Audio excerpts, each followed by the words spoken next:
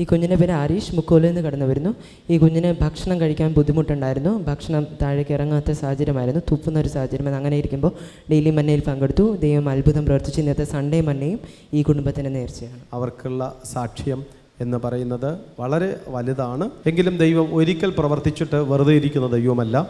വീണ്ടും വീണ്ടും അതാത് കാലങ്ങളിൽ ദൈവമായ കഥാവ് അവരെ വീണ്ടും അവരെ പണിതുകൊണ്ടിരിക്കുന്ന വളരെ നിരാശാജനകമായ ചില സാഹചര്യങ്ങൾ ഇവരെ തേടിയെത്തി. ഈ പൈതലിന്റെ ആമാശയത്തിൽ നിന്ന് ഒരു ട്യൂബ് പുറത്തേക്ക് ഇട്ട് അങ്ങനെയാണ് ആദ്യമായിട്ട് ഈ കുഞ്ഞിനെ ഞാൻ കാണുന്നത്.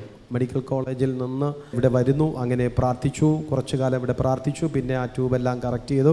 നന്നായി. ഈ അടുത്ത നാളുകളിൽ പെട്ടെന്നൊരു ട്രാജഡി അവരുടെ കുടുംബത്തിലേക്ക് കടന്നു വന്നു. വന്നത് സ്തോത്രം കുഞ്ഞിന്റെ തൊണ്ടയിലെന്തോ ഒന്ന് കുരുങ്ങി. ഫുഡ് കഴിക്കാൻ പറ്റാത്ത ഒരു സാഹചര്യമായിരുന്നു. സ്കൂളിൽ വെച്ച് എന്തോ കഴിച്ചപ്പോൾ തൊണ്ടയിൽ അത് കുരുങ്ങി അങ്ങനെ ഹോസ്പിറ്റലിലേക്ക് കൊണ്ടുപോയി.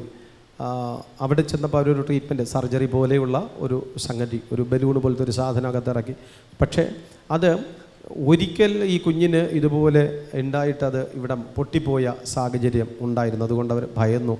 ആ ട്രീറ്റ്മെന്റിന് വേണ്ടി ഇറങ്ങുന്നതിന് മുമ്പ് ഞാൻ പറഞ്ഞു നമുക്കൊരു മൂന്ന് ദിവസം ഇവിടെ ഇരുന്ന് പ്രാർത്ഥിക്കാം. എന്നിട്ട് ട്രീറ്റ്മെന്റിന് വേണ്ടിയിട്ട് പോകാം. കോസ്റ്റ്ലിയാണ്. അതോടനുബന്ധിച്ച് മാത്രവുമല്ല എന്തെങ്കിലും ഒരു സംഭവം ഒരു ചെറിയ പ്രയാസമുണ്ട് എങ്കിൽ അവർക്കൊരു ഒരു ഒരു ഒരു ഭയമാണ് ഇതിങ്ങനെ ചെയ്യുന്നതിനെ കുറിച്ച്. അങ്ങനെ വന്നു. മൂന്ന് ദിവസം ദൈവസന്നിധി വരുന്ന പ്രാർത്ഥിച്ചു. ഒരു ഇച്ചിരി തേന് രണ്ട് പ്രാവശ്യം കുഞ്ഞിന് കൊടുത്തു. മൂന്നാം പ്രാവശ്യം തേന് കൊടുക്കേണ്ടി വന്നില്ല. ഇവിടുത്തെ ഫുഡ് നന്നായിട്ട് കുഞ്ഞ് കഴിച്ചു. കൈയടിച്ചു. നമുക്ക് ദൈവത്തിന് സ്തോത്രം ചെയ്യാം. പ്രൈസ് തലാ നമ്മൾ ഇവരോട് ചോദിച്ച അതിന്റെ ട്രീറ്റ്മെന്റിനെ കുറിച്ച് ഇവർ കഴിഞ്ഞ ഞായറാഴ്ച ടോക്കൺ പ്രയറിൽ സാക്ഷി പറഞ്ഞു. എന്തായിരുന്നു നിങ്ങളുടെ സംഭവം? പറഞ്ഞോ.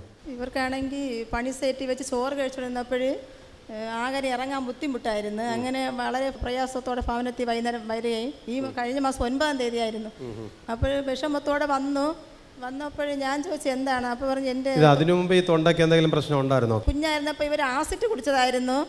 അപ്പൊ അതിനോട് അന്നനാളിങ്ങനെ ചുരുങ്ങ ചുരുക്കമുണ്ട് പതിനേഴാമത്തെ വയസ്സിൽ അപ്പൊ മുപ്പത് വർഷമായി. പക്ഷെ ആഹാരം കഴിക്കാൻ ഞങ്ങളപ്പോൾ അത്ര സ്പീഡാ കഴിച്ചില്ലെങ്കിലും മുപ്പത് വർഷം കൊണ്ട് കഴിക്കുമായിരുന്നു. അപ്പോൾ ഈ കഴിഞ്ഞ മാസം ഒൻപതാം തീയതി ഉച്ചയ്ക്ക് ആഹാരം സ്ലോവിൽ കഴിക്കും അല്ലേ? സമയം എടുക്കുവാൻ ഞങ്ങളപ്പോൾ സ്പീഡാ കഴിക്കില്ല. എല്ലാം കഴിക്കും പക്ഷെ സ്ലോവിലാണ് കഴിക്കുന്നത്. അങ്ങനെ ഉച്ചയ്ക്ക് ആഹാരം കഴിച്ചിട്ടിരുന്നപ്പോഴേ ആഹാരം ഇറങ്ങാൻ ബ്ലോക്കായി അന്നനാളെ. ചുരുങ്ങിയിരിക്കുകയായിരുന്നു. അപ്പോൾ വലിയ പ്രയാസത്തോടെ വീട്ടിൽ വന്നു. ഞായറാഴ്ച അത് ശരിയാകും എന്തെങ്കിലും അകത്ത് കുരുങ്ങിയെന്ന് പറഞ്ഞ് ഞായറാഴ്ച ശരിയാവുമെന്ന് കരുതി ഞായറാഴ്ച പോയില്ല. തിങ്കളാഴ്ച രാവിലെ കാരക്കുണ ആശുപത്രി കൊണ്ടുപോയി. കൊണ്ടുപോയപ്പോൾ ഡോക്ടർ രണ്ട് മൂന്ന് ഞങ്ങൾ അഞ്ച് ദിവസം വരെ അവിടെ പോയി. വെള്ളി തിങ്കൾ മുതൽ വെള്ളി വരെയും പോയി. അപ്പോൾ അവരെല്ലാ ടെസ്റ്റും ചെയ്തു. ഇത് ശരിയാകുമെന്ന് അപ്പോൾ പറഞ്ഞ് എക്സ്റേയിൽ പറയാണ് ഇത് അന്നനാളം ചുരുങ്ങിയിട്ടുള്ളതാ കൊണ്ട് എൻ എൻഡോസ്കോപ്പ് ഞങ്ങൾ കുഞ്ഞുങ്ങൾക്ക് ചെയ്യുന്ന ആ എൻ എൻഡോസ്കോപ്പ് ചെയ്ത് നോക്കാം ചെറിയ ട്യൂബ് ഇറക്കി നോക്കാം എൻഡോസ്കോപ്പി ചെയ്യാൻ വേണ്ടിയിട്ട് ക്യാമറ അങ്ങോട്ട് വിട്ടപ്പോൾ അങ്ങോട്ട് പോകുന്നില്ല പോകുന്നില്ല പോകുന്നില്ല. അപ്പോൾ പറഞ്ഞു അന്നനാളം ചുരുങ്ങി പോയി ചുരുങ്ങി പോയിട്ടുണ്ട് അപ്പോൾ ഞങ്ങൾ കുഞ്ഞുങ്ങൾക്ക് ചെയ്യുന്നതൊന്ന് ചെറുതായിട്ട് ചെയ്ത് നോക്കാം. അത് ഞങ്ങൾ പ്രസ് ചെയ്യാൻ പറ്റില്ല പൊട്ടിപ്പോയാൽ ഇവിടെ അതിനുള്ള സജ്ജീകരണങ്ങളൊന്നും ഇല്ല. അപ്പോൾ ഞങ്ങൾ മൂന്ന് പ്രാവശ്യം ചെയ്ത് നോക്കിയിട്ടും അത് താഴോട്ട് വരുന്നില്ല. അതുകൊണ്ട് വെള്ളിയാഴ്ച ഒൻപതാം തീയതി അത് പറ്റിയേ. ആ തിങ്കൾ മുതൽ വെള്ളി വരെ ഞങ്ങൾ കാരക്കോൺ ആശുപത്രി കൊണ്ടുപോയെങ്കിലും വെള്ളിയാഴ്ച ഡോക്ടർ എന്നോട് പറഞ്ഞു അമ്മ ഇവിടെ പറ്റത്തില്ല നിങ്ങൾ മെഡിക്കൽ കോളേജിൽ കൊണ്ടുപോകണം. അച്ഛനൊന്നും കഴിക്കാൻ പറ്റത്തില്ലല്ലോ. ഞാൻ ഒരു കുഞ്ഞ് പല്ല് പൊളയ്ക്കുന്നതിന് മുമ്പ് മുമ്പുള്ള കുഞ്ഞിന് ഞങ്ങൾ എങ്ങനെയാണ് നോക്കുന്നത് അതേപോലെ മിക്സിയിൽ വെച്ച ചോറൊക്കെ അടിച്ച് ഞാൻ കൊടുത്തുകൊണ്ടിരുന്നത് അങ്ങനെ മന്ന ചാനലിന്റെ പ്രോഗ്രാം ബുധനാഴ്ച കണ്ടു. തിങ്കൾ ചൊവ്വ ബുധൻ കൊണ്ടുപോയിട്ട് ബുധനാഴ്ച വൈകുന്നേരം ഞാൻ മന്ന ചാനലിന്റെ പ്രോഗ്രാം ഞങ്ങൾ കാണുമായിരുന്നു. ദേവദാസൻ ഓരോ രോഗികളെ സൗഖ്യമാക്കുന്നത് ഞാൻ കണ്ടിട്ട് ഞാൻ പറഞ്ഞു ഞങ്ങൾക്ക് എന്തായാലും ബ്രദറിനെ ഒന്ന് ആ നമ്പറെ വിളിച്ച് നോക്കാം. അങ്ങനെ വൈകുന്നേരം ഞാൻ വിളിച്ചപ്പോൾ ഞാൻ ഇങ്ങനെ കാര്യം പറഞ്ഞപ്പോൾ പ്രാർത്ഥിച്ചു.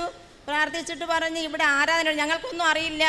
ആരാധനയുണ്ട്? ഞായറാഴ്ച ഒൻപത് മണി മുതൽ പന്ത്രണ്ട് മണി വരെ ഉണ്ട്. രോഗികൾക്കുള്ള പ്രാർത്ഥന രണ്ട് മുതൽ അഞ്ച് വരെ. ഇവിടെ പത്താം ദിവസം വന്നു. ഞങ്ങൾ ആദ്യത്തെ ആരാധനയ്ക്ക് തന്നെ ഇരുന്നു. ബ്രദറിനോട് പറഞ്ഞു സംസാരിച്ചു. ബ്രദർ പറഞ്ഞു ചെറിയൊരു കുപ്പി എണ്ണ വാങ്ങിക്കൊടുത്തു. അവിടെ വെച്ച് തന്നെ കുടിച്ചിട്ട് വന്നു പ്രാർത്ഥിച്ചു. ദൈവ അത്ഭുതം പ്രവർത്തിച്ചു. തിങ്കളാഴ്ച ഉച്ചയായപ്പോൾ എന്റെ ഭർത്താവിന് ആഹാരം കഴിക്കാൻ താനേ തുറക്കപ്പെട്ടു. ദൈവ ഒരു സർജറി പോലും വേണ്ടി വന്നില്ല. വെള്ളിയാഴ്ച ഡോക്ടർ പറഞ്ഞു ചൊവ്വാഴ്ചയാണ് അവിടുത്തെ ഡോക്ടർ ഉള്ളത്. സർജറിക്കുള്ള ഡോക്ടർ നിങ്ങൾ ചൊവ്വാഴ്ച കൊണ്ടുപോയേ പറ്റുമെന്ന് ആ സർട്ടിഫിക്കറ്റോടെ ഞാൻ ഇവിടെ വന്നിരിക്കുകയെന്ന് മൂന്നാഴ്ചയുമായിരുന്നു വരുന്നു ഇതിന്നത്തോട് മൂന്നാമത്തെ ആഴ്ച എന്റെ ബാഗിനകത്ത് ഇപ്പോൾ ഇരിപ്പുണ്ട്. ഞാൻ എടുത്ത് നോക്കുകയില്ല. ദൈവം ഇത്രയും സൗഖ്യം തന്നല്ലോ. എനിക്കിനി ആശുപത്രി പോകണ്ടെന്ന് എന്റെ ചേട്ടൻ പറയുകയാണ്. പെട്ടെന്നൊരു ഐ മീൻ ട്രീറ്റ്മെന്റ് ഈ വിഷയത്തിൽ ഡോക്ടേഴ്സ് ചെയ്യത്തില്ല. ചെയ്യുമ്പോൾ ഈ അന്നനാളം ശകലമൊന്ന് പൊട്ടിപ്പോയി കഴിഞ്ഞാൽ പിന്നെ തുന്നി പിടിപ്പിക്കാൻ പറ്റത്തില്ല. അതുകൊണ്ട് ഇത് ചെയ്യാൻ ഡോക്ടേഴ്സിന് വരെ പേടിയായിരിക്കുന്ന സാഹചര്യം. പക്ഷേ യേശുവിന് ഒരു ഭയവുമില്ല.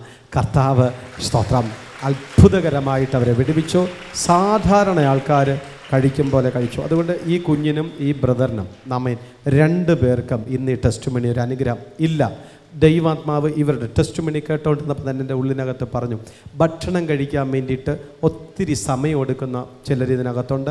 അവർക്ക് വേണ്ടി പ്രെയർ ചെയ്യണമെന്ന്. എന്തോ തൊണ്ടയിലിരിക്കുന്നത് പോലെ ഫീൽ ചെയ്യുന്ന അനുഭവങ്ങളുണ്ട്. ഇപ്പോൾ അതെല്ലാം മാറാൻ പോവുകയാണ്.